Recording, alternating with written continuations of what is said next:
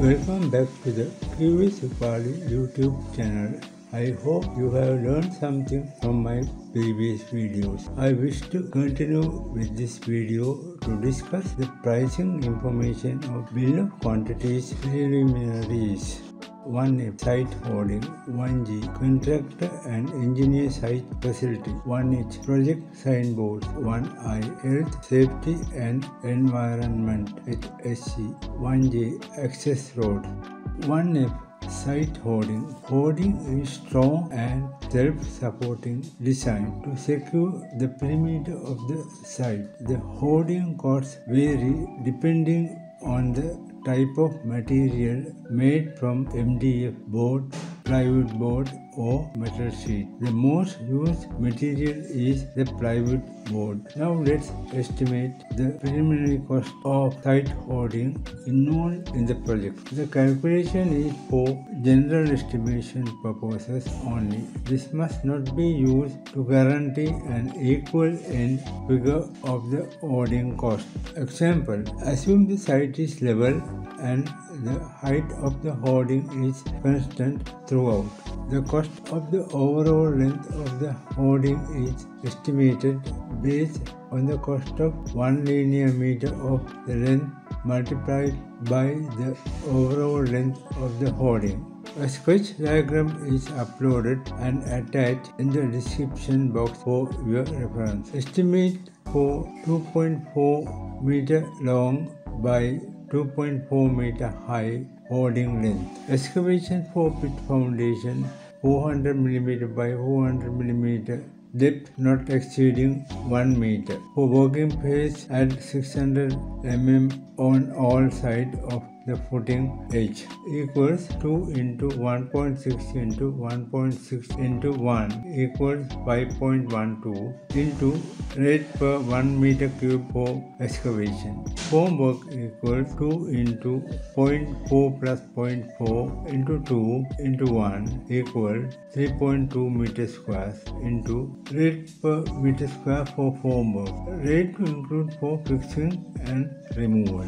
Mass concrete grade SRC 30 Newton for the footing equals 2 into 0.4 into 0.4 into 1 minus 2 into 0.225 into 0.075 equals 0.32 minus 0.034 equals 0.286 meter square into rate per meter cube for concrete SRC 20 Newton. Apply one primer coat and two coats of liquid bituminous waterproofing on the vertical side of the footing exposed to the earth equals 2 into 0.04 plus 0.04 into 2 into 1 equals 3.20 meter squares into rate per meter square for bituminous waterproofing. Backfilling with surplus excavation equals 5.12 meter cube minus 0.3 32 meter cube equals 4.8 meter cube into rate per meter cube for backfilling. Cart away surplus excavated material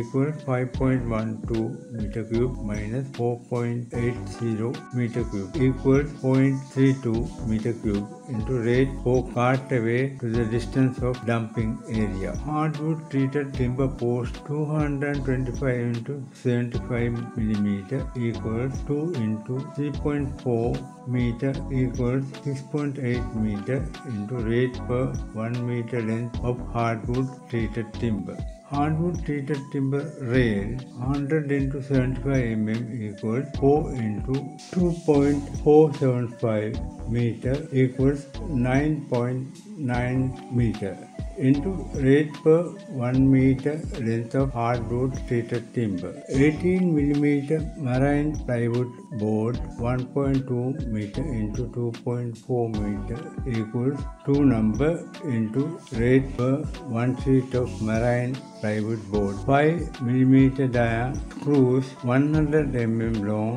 to fix the rail to post equals 8 number into rail per 1 number screw. 4 mm dia screws 50 mm long at 300 mm center to center equals 34 number into rail per 1 number screw.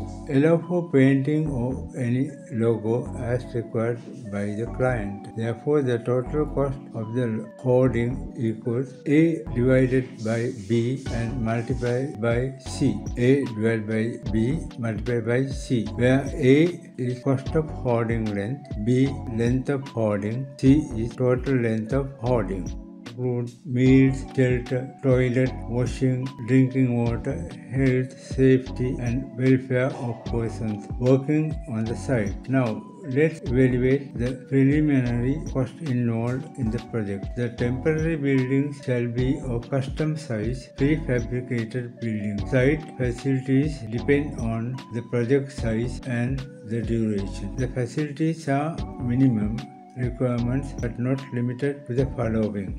Engineer facility. The engineer's office includes a board meeting room, engineer's office room, drawing room, stationery room, secretary room, driver room, pantry, toilet, washroom, and covered parking place. Manpower includes a secretary and an office boy.